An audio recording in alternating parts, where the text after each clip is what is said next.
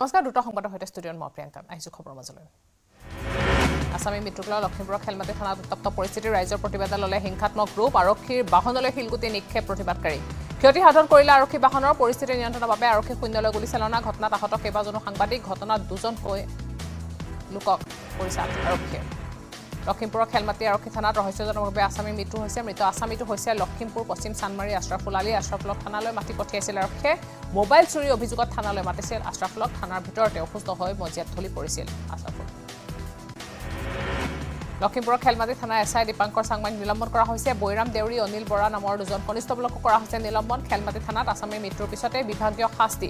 উত্তৰ মণ্ডলৰ ডি আই জিক তাৎক্ষণিকভাৱে খেলমাটিলৈ যোৱাৰ নিৰ্দেশ। এক্স হেণ্ডেলযোগে এই কথা জনালে। D G P G P সিঙে লখিমপুৰৰ ঘটনা সন্দৰ্ভত প্ৰতিক্ৰিয়া স্থানীয় বিধায়ক মানৱ ডেকাৰ ঘটনাত সঠিক তদন্তৰ আহ্বান বিধায়কজনৰ। উত্তেজিত প্ৰতিবাদকাৰীক থানাত আক্ৰমণৰ ঘটনাক নিন্দা বিধায়কজনৰ। ৰাইজক আইন হাতত তুলি নল'বলৈ আহ্বান মানৱ ডেকাৰ।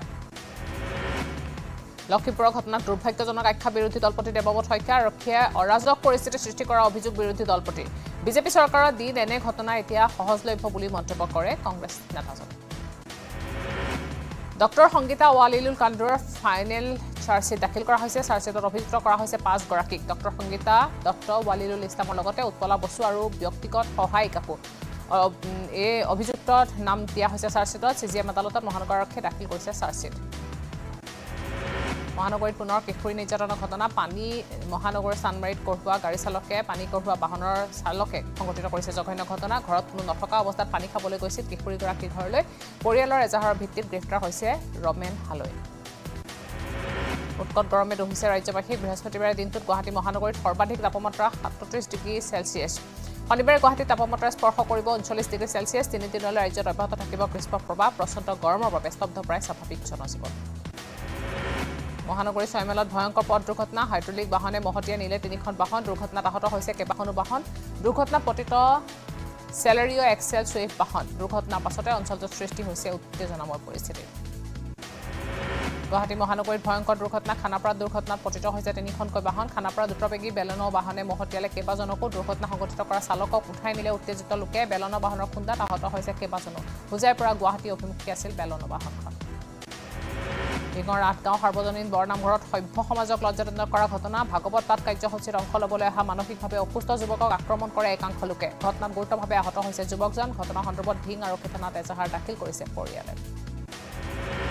মৈৰাবাৰীত নাবালিকাক ধৰ্ষণ কৰি হাবিত পেলাই থৈ গ'ল লম্পটে। প্ৰেমৰ চালনেৰে ফুচলাক ফুচুলাই নি ধৰ্ষণ কৰে নাবালিকাগৰাকীক। অভিযুক্ত লম্পটটো মেৰজুমল ইছলাম। ৰাইজে উদ্ধাৰ কৰি সংকটজনক অৱস্থাত মৰিগাঁও অসামৰিক চিকিৎসালয়ত ভৰ্তি কৰিছে। টিঙত অধ্যক্ষক ধন দাবী কৰি গ্ৰেপ্তাৰ হ'ল এজন যুৱক আৰক্ষীয়ে জুৰিয়াৰ পৰা গ্ৰেপ্তাৰ কৰা অভিযুক্ত আশ্ৰাফুল ইছলাম। মৈৰাবাৰীৰ বৰথল দলৈ গাঁৱৰ উচ্চতৰ মাধ্যমিক বিদ্যালয়ৰ অধ্যক্ষ আব্দুল কুদ্দুছক দাবী কৰিছিল চাৰি লাখ টকা। গুৱাহাটী উত্তৰ গুৱাহাটীৰ মাজত ফেৰী সেৱাৰ সম্প্ৰসাৰণ পুৱা চাৰে সাত বজাৰ পৰা নিশা চাৰে আঠ বজালৈ প্ৰতিটো ঘাটতে বৃদ্ধি কৰা হৈছে ফেৰী খেপ। গুৱাহাটী মধ্যমখণ্ড ঘাটত চৌত্ৰিছটালৈ বৃদ্ধি হৈছে খেপ। গুৱাহাটী ৰজাদুৱাৰ ঘাটত বিৰাল্লিছটালৈ বৃদ্ধি হৈছে খেপ। হাজোত কাৰ্টনে কাৰ্টনে জব্দ অবৈধ বিলাতী সুৰাৰ বটল হাজোৰ অভয়াপুৰীত আৰক্ষীৰ অভিযান অভয়াপুৰৰ হৰেণ কলিতা নামৰ লোকজনে বিক্ৰী কৰিছে। নিজৰ ঘৰতে অবৈধভাৱে মজুত ৰাখিছে লক্ষাধিক টকা মূল্যৰ চৈধ্যটাকৈ বিলাতী সুৰা ভৰ্তি কাৰ্টন। দীৰ্ঘদিনীয়া হৰেণে চলাই আহিছিল সুৰাৰ অবৈধ বেহা। মানৱ সৰবৰাহকাৰী কবলত জুৰিয়াৰ মহিলা জুৰিয়াৰ কছাৰী গাঁৱৰ আব্দুল বাৰেক নামৰ লোকজনে মহিলাগৰাকীক বহিৰাষ্ট্ৰত বিক্ৰী কৰি কৰাৰ অভিযোগ। ভুক্তভোগী মহিলাগৰাকীৰ সৈতে পৰিয়ালৰ যোগাযোগ কৰাৰ পিছত পোহৰলৈ আহিছে এই তথ্য। মহিলাগৰাকীক উভতাই অনাৰ বিনিময়তো আব্দুলে ধন দাবী কৰাৰ অভিযোগ। মৰিয়নীত পানী যোগান আঁচনি ৰূপায়ণত পঞ্চাছ কোটি টকাৰ কেলেংকাৰী তদন্ত বিচাৰি উচ্চ ন্যায়ালয়ত পি আই এল এল দাখিল কৰিছে আৰ টি আই কৰ্মীয়ে। মৰিয়নী সমষ্টিৰ গ্ৰেটাৰ চেলেং পানী যোগান আঁচনিৰ ব্যাপক কেলেংকাৰী। তামোলপুৰ জিলাৰ গোৰেশ্বৰৰ বালাবাৰীত পথ নিৰ্মাণত ঠিকাদাৰৰ দুৰ্নীতি শিল ব্যৱহাৰ নকৰাকৈ নিৰ্মাণ কৰা হৈছে পথ। পথ নিৰ্মাণৰ কাম নিৰীক্ষণ কৰিবলৈ যোৱা লোক নিৰ্মাণ বিভাগৰ বিষয়াৰ সন্মুখতে ধৰা পৰিছে ঠিকাদাৰৰ দুৰ্নীতি। ৰাইজৰ ৰোষত পৰা ভয়ত বিভাগীয় বিষয়াৰ ঘটনাস্থলীৰ পৰা পলায়ন। দীৰ্ঘদিনৰ পিছত কাজিৰঙাত সাতত্ৰিছ ৰাষ্ট্ৰীয় ঘাইপথত পুনৰ সক্ৰিয় হৈছে চেঞ্চৰ কেমেৰা। চল্লিছ কিলোমিটাৰ অধিক গতিত বাহন চলোৱা চালকসকলক নাকি লগাবলৈ সষ্টম পথ এ, ৰাষ্ট্ৰীয় সেউজ প্ৰাধিকৰণৰ নিয়ম উলংঘা কৰিয়ে গাড়ী চালকে ভৰিব লাগিব এতিয়া জৰিমনা। দিল্লীত মুমূৰ্ষ অৱস্থাত উদ্ধাৰ হৈছে অসমৰ সন্ধানহীন মহিলা। এমাহ পূৰ্বে ঢেকীয়াজুলিৰ কঠলডুবৰ পৰা সন্ধানহীন হৈছিল পাঁচটা সন্তানৰ মাতৃগৰাকী। মহিলাগৰাকী নাৰী সৰবৰাহ চক্ৰৰ কবলত পৰা সন্দেহ কৰা হৈছে। একেই গাঁৱৰে সুনীল বড়ো নামৰ লোকজনৰ সৈতে পলাই গৈছিল মহিলাগৰাকী। কৰিমগঞ্জৰ বদৰপুৰ ঘাট এলেকাত ভয়ংকৰ পথ দুৰ্ঘটনা। দ্ৰুতবেগী ডাম্পাৰে মহতিয়ালে অটো। দুৰ্ঘটনা থিতাতে নিহত হৈছে অটোখনৰ আৰোহী। নিহত লোকজন হৈছে পৰেশ দাস। দুৰ্ঘটনা সংঘটিত কৰিয়ে পলায়ন কৰিছে ডাম্পাৰ সহ চালকজনে। ৰহাৰ শিলভেটাৰ কপিলি নদীত মৃতদেহ উদ্ধাৰ কৰা হৈছে। মৃতদেহ লোকজন ৰহাৰ দীঘলীয়াটিৰ ছফিকুল হক বুলি জানিব পৰা গৈছে। বুধবাৰৰ পৰাই নৈখন সাঁতুৰি পাৰ হ'বলৈ চেষ্টা কৰোঁতে সন্ধানহীন হৈ পৰিছিল লোকজন। এছ ডি আৰ এফে উদ্ধাৰ কৰে মৃতদেহ। বৰপেটা ৰোডত চোৰৰ উপদ্ৰৱ লক খুলিব নোৱাৰি চোৰে ভাঙি দিলে Bajaj Pulsar one fifty bike. Barpeta ৰোডৰ উত্তৰৰ আঠিয়াবাৰীৰ মদিনা মছজিদৰ কাষত সংঘটিত হৈছে চুৰিকাণ্ড গুৱাহাটী মহানগৰীত দেখা দিছে জলসংকটে। গুৱাহাটীৰ বিভিন্ন স্থানত এঠুৱিক খোৱা পানীৰ বাবে হাহাকাৰ কৰিছে মহানগৰবাসীয়ে। গুৱাহাটীবাসীক পৰ্যাপ্ত পানী যোগান ধৰাত চৰকাৰ ব্যৰ্থ হোৱাৰ সময়তে একাংশই ব্যক্তিগতভাৱে অধিক দৰত ৰাজ্যক যোগান ধৰিছে পানী। বৰ্তমান নিয়মীয়া নহয় চৰকাৰীভাৱে চলি থকা পানী যোগান ব্যৱস্থা। যোৰহাটত বেংক মেনেজাৰৰ অবৈধ বেহা গ্ৰাহকৰ অগোচৰে গোপনে তেওঁলোকৰ একাউণ্টৰ পৰা লাখ লাখ টকা নিজৰ বেংক একাউণ্টলৈ ট্ৰেন্সফাৰ কৰি শ্বেয়াৰ মাৰ্কেটত বিনিয়োগ কৰাৰ অভিযোগ। অভিযুক্ত মাধৱপুৰ গ্ৰামীণ বিকাশ বেংকৰ শাখা পৰিচালক প্ৰশান্ত বৰা। যোৰহাটত গৃহ ঋণ প্ৰদানৰ নামত ভয়ংকৰ জালিয়াতি চৰকাৰী প্ৰতিষ্ঠানৰ চিল চহী জাল কৰি গ্ৰাহকক গৃহ ঋণ প্ৰদানৰ গুৰুতৰ অভিযোগ। এল আই চিৰ দৰে বিত্তীয় প্ৰতিষ্ঠানৰ একাংশ কৰ্মচাৰীৰ বিৰুদ্ধে উত্থাপন হৈছে গুৰুতৰ অভিযোগ। কাৰাগাৰ কাণ্ডই জোকাৰিছে গোলাঘাট। কাৰাগাৰৰ আলহী হ'বলগীয়া হৈছে খুদ কাৰাগাৰৰ অধীক্ষক। অধীক্ষক হিতেশ চৌধুৰীৰ বিৰুদ্ধে মহিলা চিকিৎসক যৌন নিৰ্যাতনৰ অভিযোগ। ঘটনাক ষড়যন্ত্ৰ আখ্যা দিছে হিতেশ চৌধুৰীৰ পত্নীয়ে ৰহাৰ চাপৰমুখত ৰাজহুৱা শৌচাগাৰ নিৰ্মাণৰ নামত ব্যাপক দুৰ্নীতিৰ অভিযোগ। চাপৰমুখ গাঁও পঞ্চায়ত আৰু জনস্বাস্থ্য কাৰিকৰী বিভাগৰ বিষয়া কৰ্মচাৰীৰ বিৰুদ্ধে দুৰ্নীতিৰ অভিযোগ। নিম্নমানৰ কাম আধৰুৱা কাম ধনৰাজ। গোৱালপাৰাত হঠাৎ আলু পিঁয়াজৰ মূল্য বৃদ্ধি। খুচুৰা বজাৰত প্ৰতি কিলো পিঁয়াজৰ দাম পঁয়ত্ৰিছৰ পৰা চল্লিছ টকালৈ বৃদ্ধি হৈছে। ত্ৰিছ টকাত বৃদ্ধি হৈছে প্ৰতি কিলো আলু। গোৱালপাৰা চহৰৰ নতুন বজাৰত সৰ্বসাধাৰণ গ্ৰাহকৰ মাজত হাহাকাৰ। ওদালগুৰি দুই নম্বৰ কচুবিল ভুটীয়া চাং হাতীগড় আদি অঞ্চলত নিশা হ'লে হাতীৰ উপদ্ৰৱ বৃদ্ধি পাইছে। বুধবাৰে নিশা সঞ্জয় বড়ো নামৰ লোকজনৰ প্ৰায় আঢ়ৈ বিঘা মাটিৰ ৰঙালাও খেতিৰ ঠাই লণ্ডভণ্ড কৰিছে। হাতীৰ বাবে দুইৰ পৰা তিনি লাখ টকাৰ ৰঙালাও লোকচান হয় লোকজনৰ। পুৱাই গোলাঘাটৰ পাচলি বজাৰৰ মৃতদেহ উদ্ধাৰ মৃতদেহটো গোপাল চেত্ৰী নামৰ এজন লোকৰ মৃত গোপাল চেত্ৰী পেছাত ৰং মিস্ত্ৰী। বুধবাৰে দিনৰ এঘাৰমান বজাত ঘৰৰ পৰা কামলৈ বুলি ওলাই গৈছিল আৰু তাৰ পিছৰ পৰা কোনো সন্ধান নাছিল। কাৰ্বি আংলঙত বিগত এমাহে নাটনি হৈ আছে যক্ষ্মা ৰোগীৰ জীৱনদায়িনী ঔষধৰ ৰাজ্যৰ স্বাস্থ্য বিভাগে অৰ্ধ লক্ষাধিক যক্ষ্মা ৰোগীক যোগান ধৰিব পৰা নাই বিনামূলীয়া ঔষধ। ঔষধৰ নাটনি এতিয়া যক্ষ্মা ৰোগীৰ জীৱনলৈ কঢ়িয়াই আনিছে ভাবুকি। লাহোৱালত বনৰীয়া মহৰ আক্ৰমণত আহত হৈছে দুজন লোক। লাহোৱালৰ এক নং চিৰিংহোলা গাঁৱত বনৰীয়া মহৰ আতংক। আহত দুজন লোক কমলা মিয়া আৰু জাঞ্চী প্ৰিয়া মিয়া। আহত দুয়োজনকে সংকটজনক অৱস্থাত অসম চিকিৎসা মহাবিদ্যালয়ত প্ৰেৰণ কৰা হৈছে। গোৱালপাৰা হস্পিটেলত চিকিৎসাধীন ধুবুৰী সমষ্টি প্ৰাৰ্থী চকুৰ আলী। বুধবাৰে অসুস্থতাৰ বাবে হস্পিটেলত ভৰ্তি হয় চকুৰ আলী। বিয়লি সম্পন্ন চকুৰ আলীৰ গ'ল্ড ব্লাডাৰ অপাৰেশ্যন এক জুনৰ পৰা বটলিফ ফেক্টৰী বন্ধ সন্দৰ্ভত প্ৰতিক্ৰিয়া প্ৰকাশ। বিশ্বনাথ জিলাৰ বটলিফ ফেক্টৰী সংস্থাৰ শংকিত লাখ লাখ ক্ষুদ্ৰ চাহ খেতিয়ক। বিশ্বনাথ জিলাতো প্ৰায় এক হাজাৰ ক্ষুদ্ৰ চাহ খেতিয়কে হাহাকাৰ পৰিস্থিতিৰ সৃষ্টি কৰে। বৃহস্পতিবাৰে ষষ্ঠ পৰ্যায়ৰ লোকসভা নিৰ্বাচনৰ প্ৰচাৰ অভিযান সামৰণি বিয়লি পাঁচ বজাৰ লগে লগে নিৰ্বাচনী প্ৰচাৰ সামৰণি। শনিবাৰে দেশৰ ছয় ৰাজ্য আৰু দুখন কেন্দ্ৰীয় শাসিত অঞ্চলৰ আঠাৱন্নটা সমষ্টিত হ'ব ভোটগ্ৰহণ। ষষ্ঠ পৰ্যায়ৰ নিৰ্বাচনত মুঠ আঠশ ঊনআশীজন প্ৰাৰ্থীয়ে আগবঢ়াইছে প্ৰতিদ্বন্দ্বিতা। প্ৰধানমন্ত্ৰী নৰেন্দ্ৰ মোদীৰ মাৰাথন নিৰ্বাচনী প্ৰচাৰ পঞ্জাৱত প্ৰধানমন্ত্ৰী মোদীৰ নিৰ্বাচনী প্ৰচাৰ সভা পাটিয়ালাত প্ৰধানমন্ত্ৰীৰ প্ৰথমখন নিৰ্বাচনী ৰেলী শুকুৰবাৰেও পঞ্জাৱত বৃহৎ জনসভাত সম্বোধন কৰে প্ৰধানমন্ত্ৰীয়ে বহিঃৰাজ্যত অসমৰ মুখ্যমন্ত্ৰীৰ ধাৰাবাহিক নিৰ্বাচনী প্ৰচাৰ বৃহস্পতিবাৰে উৰিষ্যাত মুখ্যমন্ত্ৰী হিমন্ত বিশ্ব শৰ্মাৰ চাৰিখনকৈ নিৰ্বাচনী প্ৰচাৰ দেওঘৰ বৰবিল চোৰদাৰ আৰু বাৰম্বা সমষ্টিত মুখ্যমন্ত্ৰীৰ নিৰ্বাচনী প্ৰচাৰ। দুষ্কৃতিকাৰী আক্ৰমণত বিজেপি কৰ্মীৰ মৃত্যুক লৈ পশ্চিমবংগৰ নন্দীগ্ৰামত অব্যাহত আছে চেপা উত্তেজনা। ঘটনাৰ প্ৰতিবাদত বিজেপি কৰ্মীসকলে অৱৰোধ কৰে ৰাজপথ। টি এম চিৰ বিৰুদ্ধে আক্ৰমণৰ অভিযোগ প্ৰতিবাদকাৰী। বেংগালুৰু চহৰত বোমাতংক দা আটৱাৰকে ধৰি তিনিখন হোটেলত বোমা আতংক। হোটেল কৰ্তৃপক্ষলৈ ভাবুকি ভৰা মেইল প্ৰেৰণ কৰাৰ পিছতে ঘটনাস্থলীত বোমা বিষয়কৰ দলে উপস্থিত হৈ কৰে তদন্ত। মুম্বাইত পঞ্চাছ লাখ টকাৰ চোৰাং সোণ জব্দ কৰা হৈছে। জব্দ কৰা সোণৰ ওজন হৈছে এঘাৰ দশমিক চল্লিছ কিলোগ্ৰামতকৈ অধিক। দুজন লোকে ডুবাইৰ পৰা চেনিটেৰী পেডৰ ভিতৰত লুকুৱাই আনিছিল। ওজন পৰিমাণৰ সোণ আৰক্ষীয়ে গ্ৰেপ্তাৰ কৰিছে দুইজন বিমান যাত্ৰীক পুনেৰ পৰিচয় কাণ্ডৰ নতুন মূল নাবালক অভিযুক্তৰ জামিন বাতিল কৰা হৈছে। পাঁচ জুনলৈ অভিযুক্তক থাকিব লাগিব শিশু নিৰীক্ষণ গৃহত। মহাৰাষ্ট্ৰৰ উপ মুখ্যমন্ত্ৰী দেৱেন্দ্ৰ ফাৰ্ণাণ্ডেজৰ আৰ্জিত অনুমোদন জুভেনেল আদালতৰ। আজি বিশ্ব কাছ দিৱস। বিলুপ্তিপ্ৰায় কাছ সংৰক্ষণৰ সজাগতাৰ বাবে দুহেজাৰ চনৰ পৰা তেইছ মে'ৰ দিনটোত বিশ্ব কাছ দিৱস হিচাপে পালন কৰিছে। সোতৰটা প্ৰজাতিৰ কাছৰ আৱাসভূমি হিচাপে কাছ সংৰক্ষণত চহকী কাজিৰঙা ৰাষ্ট্ৰীয় উদ্যান। বাক্সাত দুগ্ধ আৰু সেউজ বিপ্লৱ সীতাজখলা দুগ্ধ ফাৰ্মৰ আৰ্হিত বাক্সা জিলাত আৰম্ভ হৈছে এখন দুগ্ধ ফাৰ্ম। ফাৰ্মখনত সংস্থাপিত হৈছে জিলাখনৰ প্ৰায় ডেৰ শতাধিক নিবনুৱা যুৱক। বি টি চি পৰিষদৰ অৰ্থ সাহায্যৰে গঢ়ি উঠা এই ফাৰ্মখনত আছে পাঁচখনতকৈ সমবায় সমিতি। কলিয়াবৰৰ বাগৰি গাঁৱৰ এটা অসহায় পৰিয়াললৈ সহায়ৰ হাত হৃদয়বান লোকৰ এটি উৰুখা বজাত আইতাকৰ সৈতে দুৰ্বিষহ জীৱন যাপন কৰিছে কণমানি নাতিনীয়ে।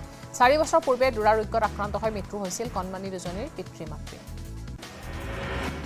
পখিলাখেদা বয়সত আক্ৰান্ত অচিন ৰোগত মেৰাপানীৰ জিতপুৰৰ এঘাৰ বছৰীয়া শ্যামন্তিকা। বৰ্তমান ডিব্ৰুগড় আদিত্য হস্পিটেলত চিকিৎসাধীন হৈ আছে। শ্যামন্তিকা একমাত্ৰ কন্যাৰ চিকিৎসা ব্যয়ক লৈ দিশহাৰা হৈ পৰিছে দৰিদ্ৰ পিতৃ মাতৃ। পুনৰ চিকিৎসা ব্যয় বহন কৰিব নোৱাৰি হাহাকাৰ এটা দৰিদ্ৰ পৰিয়ালৰ। হায়দৰাবাদত সংকটজনক অৱস্থাত চিকিৎসাধীন হৈ আছে শিৱসাগৰ। নিমাইজানৰ মানস প্ৰতিম চেতিয়া নামৰ যুৱকজন পুত্ৰৰ যকৃত ৰোগৰ চিকিৎসা কৰি সৰ্বশ্ৰান্ত হৈ পৰিছে মানসৰ পৰিয়াল। বজালী কেন্দ্ৰপুৰীত জুবিনৰ সংগীতানুষ্ঠান ইউনাইটেড ক্লাবৰ সাতাইছ সংখ্যক ইউনাইটেড সন্ধিয়া শীৰ্ষক অনুষ্ঠানত গীত পৰিৱেশন কৰে জুবিনে। বিহুৰ লগতে সংগতি ৰাখি চাৰিদিনীয়াকৈ অনুষ্ঠিত হৈছিল ইউনাইটেড সন্ধিয়াৰ কাৰ্যসূচী। কণী ধানৰ খেতিৰে স্বাৱলম্বী ধেমাজিৰ এদল উদ্যমী যুৱক। এৰাধল বৰগাঁৱৰ পথাৰত পকিবলৈ ধৰিছে ফক্সটেল মিলেট। ত্ৰিছ বিঘা ভূমিত ফক্সটেল মিলেট কণী ধানৰ খেতি কৰিছে সাতজনীয়া এটা উদ্যমী যুৱকৰ দলে। বৰাগাঁও আৰু বালিগাঁও পথাৰত পোনপ্ৰথমবাৰৰ বাবে কৰা হৈছে মিলেট খেতি। মঙলদৈত পোন্ধৰ নম্বৰ ৰাষ্ট্ৰীয় ঘাইপথৰ দুৰাৱস্থা বন্দিয়া গাঁও পঞ্চায়তৰ পৰা গা ধোৱা ঘাটলৈ পথ চোৱা এতিয়া পুখুৰী সদৃশ পৰিৱেশ। পথৰ দুৰাৱস্থাৰ বাবে দৈনিক সংঘটিত হৈছে পথ দুৰ্ঘটনা।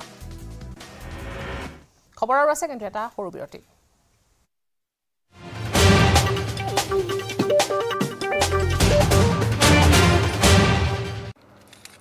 এইটো মাইথান ষ্টীল নহয়। অ ওচৰ চুবুৰীয়াসকলে লগাইছে।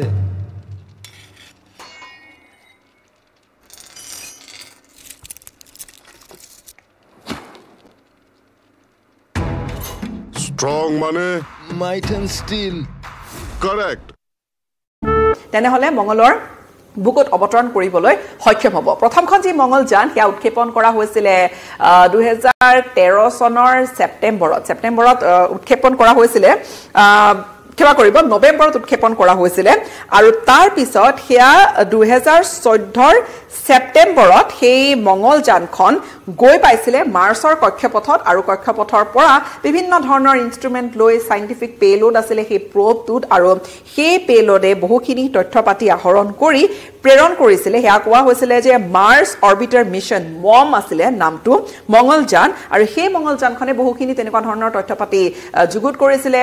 আমাৰ ইছৰ বিজ্ঞানীলৈ প্ৰেৰণ কৰিছিলে আৰু অৱশ্যে এটা সময়ত দুহেজাৰ বাইছত সম্ভৱতঃ মোৰ যদি ভুল হোৱা নাই দুহেজাৰ বাইছত সেই মঙলযানখনৰ আহ, যি গ্ৰাউণ্ড কানেকশ্যনছ বা যি যোগাযোগ সেয়া ইছৰোৰ সৈতে ব্যাহত হৈ পৰিছিলে আৰু তাৰপিছত ডেট ঘোষণা কৰা হৈছিলে। মঙলযান সেয়া প্ৰথমখনৰ। কিন্তু প্ৰথমখন আৰু ভাৰত সেই মিছনটোৰ সৈতে প্ৰথমখন দেশ হৈ পৰিছিলে যিয়ে কেৱল মঙললৈকে আচলতে এ- এফালেতো চাবলৈ গ'লে খুব কেইখনমান দেশেহে মঙললৈকে এইম কৰিবলৈ পাৰিছে। লক্ষ্য মঙল গ্ৰহ ৰঙা গ্ৰহ মঙল।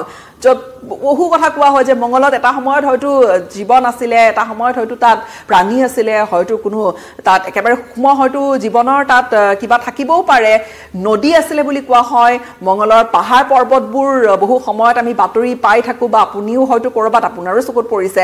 ছ'চিয়েল মিডিয়াৰ যুগ এতিয়া বহু খবৰ আচলতে আহে। নাছাৰ পাৰ্চিভিয়াৰেঞ্চ ৰোভাৰৰ কথা সেই ৰোভাৰটোৱে কিমান ধৰণৰ তথ্য পাতি নাছালৈ প্ৰেৰণ কৰিছে সেইবোৰ কথা বতৰা মাজে সময়ে ওলাই থাকে। বাতৰিৰ সংবাদ শিৰোনাম দখল কৰি থাকে।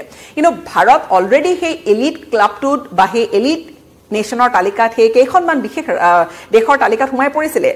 আৰু প্ৰথমবাৰ ভাৰত এয়া হৈ পৰিছিলে এখন প্ৰথম দেশ হৈ পৰিছিলে যিয়ে এবাৰতেই নিজৰ ডেবিউ মিছনৰ প্ৰথমবাৰ মঙললৈ যান প্ৰেৰণ কৰিয়ে সফলতাৰ মুখ দেখিবলৈ সক্ষম হৈছিলে দুহেজাৰ চৈধ্য চনৰ পৰা।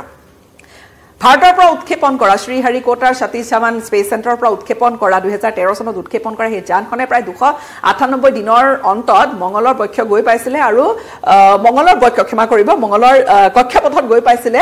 আৰু এইবাৰ যি টাৰ্গেট এইবাৰ মঙলৰ বক্ষ অৰ্থাৎ মঙলৰ ভূমিত অৱতৰণ কৰিবলৈ সাজু হৈছে ইছৰ টু নাইণ্টি এইট দুশ আঠানব্বৈ দিন লাগিছিল। ভাৰতৰ পৰা অৰ্থাৎ পৃথিৱীৰ পৰা উৎক্ষেপণ কৰি মঙল গ্ৰহ গৈ পাওঁতে মঙলযান প্ৰথমখনত।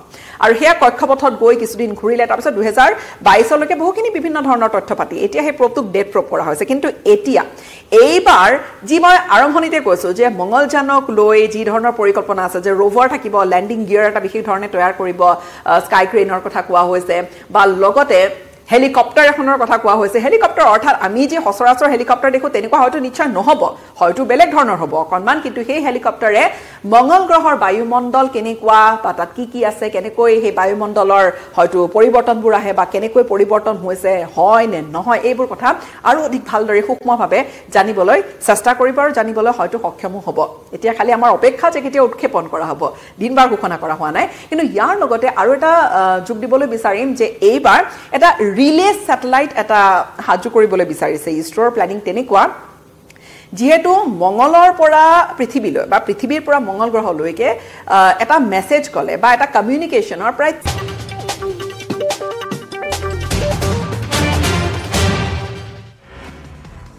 স্বাৱলম্বনৰ বাট দেখুৱাইছে ত্ৰিদীপ গগৈয়ে। কৃষি কৰ্মেৰে উজলিছে টিংখাং সমষ্টিৰ নলনী কপোহোৱা কণ্ঠশিল্পী ত্ৰিদীপ গগৈ ত্ৰিদীপ গগৈয়ে চাৰিজন সতীৰ্থৰ সৈতে কেন্দুগুৰিৰ দিহিং এৰাসুতি পাৰত প্ৰায় চল্লিছ বিঘা ভূমিত কৰিছে আলু ভেন্দি লাও মটৰ ধনিয়াৰ খেতি।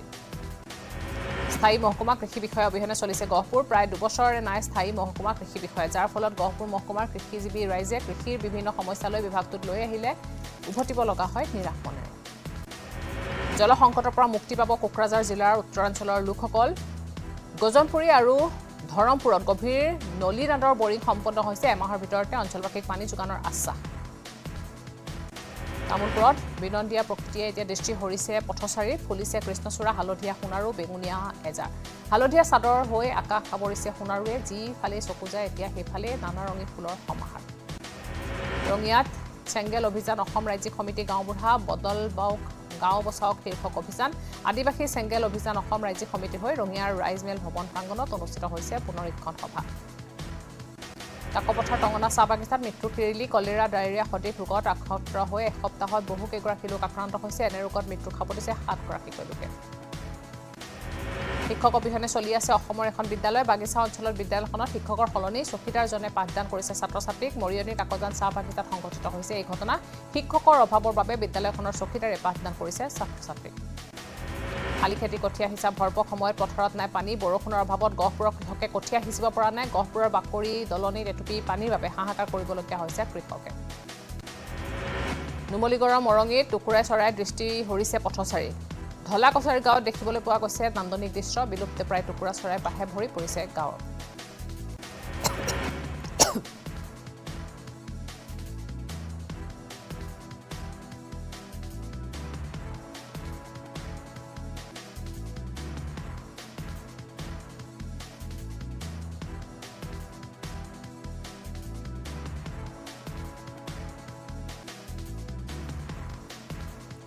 শিৱসাগৰৰ ডিমৰ এজন পঁচিছ বছৰীয়া যুৱক তথা সাঁতোৰবিদ আয়াৰলেণ্ডৰ সাঁতোৰ দলৰ পাৰদৰ্শিতা মূল্যায়ন আৰু প্ৰশিক্ষণৰ দায়িত্ব লাভ কৰিছে। মেক্স ইন্দু ফুকনে লাভ কৰিছে এই দায়িত্ব। পুনৰ আই পি এলৰ পৰা বাহিৰ হ'ল ৰয়েল চেলেঞ্জাৰ্ছ বেংগালুৰু। এলিমিটৰ মেচত ৰাজস্থান ৰয়েলছৰ হাতত পৰাস্ত হৈছে আই পি এল দুহেজাৰ চৌবিছে বিদায় ল'লে কোহলি বাহিনী। ক্ৰীড়াৰে উজলিছে নলবাৰী টিহুৰ প্ৰতিভা দাস। ঘৰৰ কামৰ সমান্তৰালকে মহিলাগৰাকীয়ে অব্যাহত ৰাখিছে খেলৰ অনুশীলন। ৰাজ্যিক টাইকোৱাণ্ডো প্ৰতিযোগিতাত মহিলাৰ পঁয়ষষ্ঠি বছৰ ঊৰ্ধৰ পুমছে খেলত সোণৰ পদক লাভ কৰিছে। হাজোৰ বৰুৱাবাৰীত মৃতদেহ উদ্ধাৰক লৈ চাঞ্চল্য স্থানীয় ৰাইজে প্ৰত্যক্ষ কৰে। মৃতদেহটো ৰাইজৰ খবৰৰ ভিত্তিত ঘটনাস্থলীত উপস্থিত হৈছে। হাজো আৰক্ষী মৃত যুৱকজনৰ আনুমানিক বয়স ত্ৰিছ বছৰ।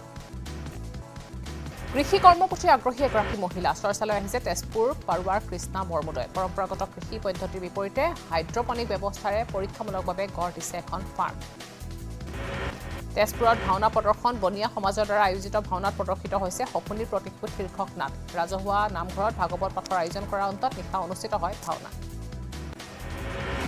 প্ৰচণ্ড গৰমে প্ৰভাৱ নপৰা এখন ব্যতিক্ৰমী বিদ্যালয়। মৈৰাবাৰী টাউন ছেকেণ্ডেৰী স্কুলত নপৰে পৰ গৰমৰ প্ৰভাৱ কিয়নো এই স্কুলখনৰ ভিতৰতে আছে বিভিন্ন প্ৰকাৰৰ সাতজোপা প্ৰকাণ্ড গছ যাৰ বাবে পুৱাৰ পৰা সন্ধিয়ালৈকে সকলো সময়তে ৰ'দৰ প্ৰকোপে ঢুকি নাপায় এইখন বিদ্যালয়। গোগামুখত স্বামী পুত্ৰক এৰি বিজেপি বুথৰ সম্পাদিকা পলাল পৰপুৰুষলৈ। লখিমপুৰত অনুষ্ঠিত বিজেপি প্ৰচাৰ সভালৈ মানুহ নিবৰ বাবে দিয়া গাড়ী চালক জানটো চুতীয়াৰ সৈতে প্ৰেমত পৰি পলাল গোগামুখ চাউল ধোৱা বালিগাঁৱৰ অঞ্জুমণি বৰা নামৰ মহিলাগৰাকী। ছচিয়েল মিডিয়াত অহা বিজ্ঞাপনৰ পৰা সামগ্ৰী ক্ৰয় কৰি এতিয়া বিপদত পৰিছে কলিয়াবৰৰ এজন যুৱক। শিলঘাটৰ অজয় মণ্ডল নামৰ যুৱকজনে ছচিয়েল মিডিয়াত বিজ্ঞাপন দেখি ছশ নব্বৈ টকাৰ তেল অৰ্ডাৰ দিছিল। প্ৰায় এমাহৰ ভিতৰত ভাৰতীয় ডাক সেৱাযোগে আহি পোৱা সামগ্ৰীটোৰ মূল্য ছশ নব্বৈ টকাৰ পৰিৱৰ্তে হ'লগৈ তিনি হাজাৰৰ অধিক। হাজোৰ বুল্লতত গাঁও প্ৰধান নৰেশ্বৰ কলিতাৰ ভূমি একাংশ সন্দেহজনক নাগৰিকে দখল কৰাৰ অভিযোগ। গাঁও প্ৰধানগৰাকী অসুস্থ হৈ থকাৰ সুযোগ গ্ৰহণ কৰিছে ভূমাফিয়াই ভূমি দখল কৰাৰ অভিযোগ। এক নং চৰাবাৰী হাজো নলবাৰী পথৰ দাঁতিত থকা নৰেশ্বৰ কলিতাৰ ভূমিত ভূমাফিয়াই মাটি ভৰোৱাৰ লগতে পকী খুটা স্থাপনৰো অভিযোগ উত্থাপন। আনহাতে হাজোৰ ৰাজচক্ৰৰ লাট মণ্ডল নাছৰুদ্দিন আহমেদেও এই কাৰ্যত ভূমাফিয়াক সহযোগ কৰাৰ অভিযোগ কৰিছে। গুৰেশ্বৰ কলিতাৰ পৰিয়ালে ভূমাফিয়াৰ দলটোৰ তিনিটা দুৰ্বৃত্ত হৈছে আলাউদ্দিন আলী শামছুল আলী আৰু মদিন আলী। শালবাৰী বেকী নৈত চলিছে অবাধ খনন প্ৰক্ৰিয়া। বাক্সা জিলাৰ শালবাৰী মহকুমাৰ অন্তৰ্গত নাৰায়ণগুৰি খাগ্ৰাবাৰী মৈথাবাৰী বেকী নৈত একাংশ ভূমাফিয়াই জে চি বিৰে চলাইছে খনন। অসম মালাৰ অধীনত ডিগবৈৰ ডিৰাকৰ পৰা পেঙেৰী চাৰিআলিলৈকে নিৰ্মাণ পথৰ বাবে প্ৰায় আঠশটা পৰিয়ালে আজিলৈকে নাপালে ক্ষতিপূৰণ। হোজাইত ডবকা চিকিৎসালয়ত আয়ুষ্মান ঔষধ যোগান জননী সুৰক্ষা যোজনাৰ আঁচনিৰ নামত কোটি কোটি টকা দুৰ্নীতিৰ অভিযোগ উত্থাপন। ৰাজ্যৰ কৃষকলৈ সুখবৰ কঢ়িয়াইছে বোকাঘাটৰ পৰা। কলিকতা উৰিষ্যা ঝাৰখণ্ডলৈ ছশ কোটি টকাৰ প্ৰায় ন হাজাৰ মেট্ৰিক টন ৰঙালাও ৰপ্তানি কৰা হৈছে। অৰ্জুনা এন ওৱান প্ৰতিদিনে ৰপ্তানি হৈছে বহিৰাজ্যলৈ বুধবাৰে কৃষিমন্ত্ৰী অতুল বৰাই বোকাখাটৰ বিভিন্ন প্ৰান্তৰ পৰা কলকাতা আৰু উৰিষ্যালৈ ৰপ্তানি কৰিছে ৰঙালাও। গাড়ীৰ কাষত উপস্থিত হৈ কৃষকসকলক উৎসাহিত কৰে। নগাঁৱৰ কঠীয়াতলী বৰহোলা গাঁৱত ভয়ংকৰ অগ্নিকাণ্ড বিধ্বংসী অগ্নিকাণ্ডত জাহ গৈছে। ৰঞ্জিত নাথ নামৰ লোকজনৰ ঘৰটো ভয়াৱহ অগ্নিকাণ্ডত সম্পূৰ্ণৰূপে জাহ যায় সকলো। ওদালগুৰিৰ চৈৰাবাৰীত উন্নয়নৰ পপুলা স্বৰূপ চৈবাৰীত বাট পথৰ দুৰৱস্থা এতিয়া প্ৰবল খহনীয়াই ভাবুকি কঢ়িয়াই আনিছে অঞ্চলটোলৈ। ভাৰতীয় তেল নিগমৰ সংগ্ৰহালয়ত পবিত্ৰ নৌকা অৰ্পণ কৰিলে শ্ৰী শ্ৰী বদলা পদ্মা আটা সেৱা কমিটিয়ে শ্ৰী শ্ৰী বদলা পদ্মা আটাৰ আৱিৰ্ভাৱ মহোৎসৱ উপলক্ষে অনুষ্ঠিত হৈছে সাংস্কৃতিক সমাৰোহ। আহোম ৰাজত্বকালতে বশিষ্ঠৰ সন্ধ্যাচল পাহাৰত স্থাপন হোৱা অৰুন্ধতী মন্দিৰৰ অৱস্থা এতিয়া অতি শোচনীয় কিয়নো প্ৰতি মুহূৰ্ততে খহি পৰিব পাৰে অৰুন্ধতী মন্দিৰৰ দেৱাল আৰু কীৰ্তিচিহ্ন। উত্তৰ গুৱাহাটীৰ ৰজাদ্বাৰৰ আনন্দৰাম বৰুৱা ভাষা কলা সংস্কৃতি সংস্থাত নিৰ্মাণৰত অতিথিশালা পৰিদৰ্শন কৰিলে শিক্ষামন্ত্ৰী ডক্টৰ ৰণোজ পেগুৱে। গোৱালপাৰাৰ মাকৰিত বন্যহস্তী উপদ্ৰৱ মঙলবাৰে উৰেটো নিশা বন্যহস্তী জাকে মাকৰি অঞ্চলত চলাই উপদ্ৰৱ। নুমলীগড় মৰঙীৰ লেটেকুজান চাহ বাগিচাত বন্যহস্তী ট্ৰাক দৈনিক চাহ বাগিচাত অৱস্থান কৰি নিশাৰ ভাগত জনাঞ্চলত প্ৰৱেশ কৰি চলাইছে উপদ্ৰৱ। তামোলপুৰ জিলাৰ কলবস্তি গাঁৱতো হাতী মানুহৰ সংঘাত হাতী মানুহৰ সংঘাত দূৰ কৰাৰ বিশেষ পদক্ষেপ অৰণ্যক আৰু বন বিভাগৰ যৌথ উদ্যোগত পৰীক্ষামূলকভাৱে নেমু ফেন্সিং আৰম্ভ কৰা হৈছে। সম্ভাৱ্য বান পৰিস্থিতিৰ লগত মোকাবিলা কৰিবলৈ সাজু হৈছে কাজিৰঙা ৰাষ্ট্ৰীয় উদ্যান কৰ্তৃপক্ষই বানৰ সময়ত ৰাষ্ট্ৰীয় উদ্যানখনৰ সুৰক্ষাৰ লগতে বানৰ পৰা পৰিত্ৰাণ পাবলৈ লৈছে ব্যৱস্থা। আগন্তুক বান পৰিস্থিতিক লৈ মঙলবাৰে গোলাঘাট নগাঁও কাৰ্বি আংলং আৰু জিলা প্ৰশাসন আৰক্ষী প্ৰশাসনৰ লগতে স্বেচ্ছাসেৱী জাতীয় সংগঠনৰ লগত আলোচনাত মিলিত হৈছে ৰাষ্ট্ৰীয় উদ্যান কৰ্তৃপক্ষ। জুৰিয়াত কছাৰী গাঁৱত সাপৰ আতংক পুৱনি কোঠাত ওলাইছে পঁচিছ ছাব্বিছটা বিষাক্ত সাপৰ পোৱালি। বিষাক্ত সাপৰ ভয়ত ঘৰ দুৱাৰ এৰি পলায়ন কৰিছে এটা পৰিয়ালে। মেঘালয়ৰ জয়ন্তীয়া হিলছৰ এটা গীৰ্জাত অগ্নিকাণ্ড বুধবাৰে পুৱতি নিশা জ্বলিছে গীৰ্জাঘৰটো গীৰ্জাটোৰ পঁচানব্বৈ শতাংশ হৈছে ভস্মীভূত। গহপুৰত তৰমুজৰ খেতি কৰা কৃষকে পোৱা নাই উচিত মূল্য। পানীৰ দৰত প্ৰতি কেজিত দহ টকাকৈ বিক্ৰী কৰিব লগা হৈছে এতিয়া কৃষকজনে। চাইকেলেৰে দিল্লীলৈ যাত্ৰা কলিয়াবৰৰ কদ্ৰত আলিৰ এখন গামোচাত প্ৰকৃতি সংৰক্ষণৰ মূল উদ্দেশ্য আগত ৰাখি অসমৰ মুঠ বাৰটা সমস্যা লিপিবদ্ধ কৰি যাত্ৰা কৰিছে কদ্ৰত আলিয়ে। কোকৰাঝাৰৰ দুটমাৰ পশ্চিম ডাঙৰ খুঁটিৰ জলেশ্বৰ ব্ৰহ্মৰ স্বাৱলম্বিতাৰ নিদৰ্শন। জলেশ্বৰ ব্ৰহ্মাই বাঁহ বেতৰ চোফা টি টেবুল ফল মূল খোৱা খৰাহী চকী মেজ আদি প্ৰস্তুত কৰি সমাদৰ লাভ কৰিছে। মৰিয়নী গিবন অভয়াৰণ্যত ৰেল বিভাগৰ মৰণ ফান গিবন অভয়াৰণ্যৰ মাজেৰে বৈদ্যুতিক চালিত ট্ৰেইনৰ বাবে এতিয়া স্থাপন কৰা হাই ভল্টেজ তাৰে হলৌ বান্দৰলৈ কঢ়িয়াই আনিছে অশনি সংকেত যাৰ বাবে শংকিত হৈ পৰিছে প্ৰকৃতিপ্ৰেমী এঘাৰ কোটি টকা ব্যয়েৰে শিৱসাগৰৰ খনামুখত স্থাপন হৈছিল খনামুখ প্ৰাথমিক স্বাস্থ্য কেন্দ্ৰ আৰু এই স্বাস্থ্য কেন্দ্ৰটোত নিযুক্তি দিয়া হৈছিল চিকিৎসক নাৰ্ছ। চিকিৎসা গৃহৰ উপৰিও নিৰ্মাণ কৰা হৈছিল বহুকেইটা কোৱাৰ্টাৰ। কিন্তু পৰিতাপৰ কথা যে ৰোগীৰ চিকিৎসাৰ বাবে আজি পৰ্যন্ত মুকলি নহ'ল স্বাস্থ্য কেন্দ্ৰটো। গহপুৰত মেলেৰিয়া বিভাগৰ বিশেষ পদক্ষেপ ডেংগি জাপানীজ এনকেফেলাইটিছ মেলেৰিয়া আদি ৰোগৰ পৰা পৰিত্ৰাণ পাবলৈ ৰাইজৰ মাজত সজাগতা অভিযান চলায় বিভাগটোৱে। শ্ৰী শ্ৰী ৰামচৰণ ঠাকুৰ আটা সত্ৰত বাৰ্ষিক পালনাম মহোৎসৱৰ আয়োজন। বুদ্ধ পূৰ্ণিমা উপলক্ষে তিনিদিনীয়াকৈ আয়োজন কৰা হৈছে। বিৰান্নব্বৈ সংখ্যক পালনাম মহোৎসৱ বীৰনাম সমাৰোহ নামেৰে সামৰণি কৰিব আধ্যাত্মিক গুণেৰে প্ৰতিভাসম্পন্ন এজন তেৰ বছৰীয়া কিশোৰে গহপুৰ গোৱাধৰাত ভাগৱত পাঠ আৰু ব্যাখ্যাৰে মন মোহিলে অগণন ভক্ত। মৰিগাঁৱৰ প্ৰিয়দৰ্শন ডেকা নামৰ কিশোৰজনে বৰ নামঘৰত অবিৰতভাৱে পাঠৰ লগতে উপস্থিত ৰাইজৰ মাজত আগবঢ়ালে ভাগৱত ব্যাখ্যাও। মানস ৰাষ্ট্ৰীয় উদ্যান পৰ্যটকৰ কেমেৰাত বন্দী হৈছে নান্দনিক দৃশ্য আগে আগে অসম গৌৰৱ এশিঙীয়া গড় আৰু পিছে পিছে পৰ্যটকৰ দল। মানস ৰাষ্ট্ৰীয় উদ্যানৰ বাঁহবাৰী ৰাজ্যত দেখা গৈছে এই দৃশ্য। মানসৰ টুৰিষ্ট গাইড বিকু বিশ্বকৰ্মাৰ কেমেৰাত বন্দী হৈছে এই দৃশ্য। হোমিঅ'পেথিক চিকিৎসক ডক্টৰ কল্যাণ দত্ত গুপ্তাৰ মৃত্যু হৈছে। মৃত্যুৰ সময়ত তেখেতৰ বয়স আছিল আঠাশী বছৰ। কেৱল এজন চিকিৎসক হিচাপে নহয় তেখেত এগৰাকী সমাজসেৱক আছিল। উত্তৰ পূব ভাৰত তথা গোটেই ভাৰতবৰ্ষৰ উপৰি বিদেশীতো ৰোগীৰ চিকিৎসা সেৱা আগবঢ়াই সুনাম অৰ্জন কৰিছিল চিকিৎসকগৰাকীয়ে। শাস্ত্ৰীয় সংগীতৰ বিখ্যাত প্ৰতিষ্ঠান ভাতখান্দে সংগীত বিদ্যালয়ৰ পঞ্চীয়ক মীৰা মাথুৰৰ দেহাৱসান ভাৰতৰ বিখ্যাত সংগীত শিক্ষা প্ৰতিষ্ঠানটোৱে প্ৰকাশন বিভাগৰ সৈতে জড়িত মাথুৰৰ মৃত্যুত ভাৰতৰ সংগীত ক্ষেত্ৰত শোকৰ চাহ উত্তৰ প্ৰদেশৰ লক্ষ্ণৌত হৃদৰোগত আক্ৰান্ত হৈ মৃত্যু হয় সংগীত শিল্পীগৰাকীৰ। মুম্বাইৰ পাটনাগড় লখিমপুৰৰ ঘাটপ্ৰধাৰত ভয়ংকৰ ঘটনা। এমিৰেটছ বিমানৰ সংঘৰ্ষত চল্লিছটা ফ্লেমিংগৰ মৃত্যু হৈছে। মৃত ফ্লেমিংগকেইটা উদ্ধাৰ কৰি প্ৰেৰণ কৰিছে মৰণোত্তৰ পৰীক্ষাৰ বাবে। শীঘ্ৰে প্ৰাণ পাব মাজুলীৰ আয়ুস ৰেখা টুনি নদীয়ে। ইতিমধ্যে টুনি নদী নিষ্কাশনৰ বাবে ৰাজ্য চৰকাৰে জলসম্পদ বিভাগৰ দ্বাৰা অনুমোদিত বাইছ কোটি টকাৰ আঁচনিৰ কাম নিৰ্ণায়ক গতিৰে আগবাঢ়িছে। কেৰালাৰ পৰা অনা হায়াচিথ হাৰ্ভেষ্টৰ মেচিনেৰে নদীখনৰ পিটনি আৰু মেটেকা নিষ্কাশনৰ কাম আৰম্ভ কৰিছে। আৰু ইয়াৰ লগে লগে সময় হৈছে দ্ৰুত সংবাদৰ পৰা বিদায় লোৱাৰ। নমস্কাৰ।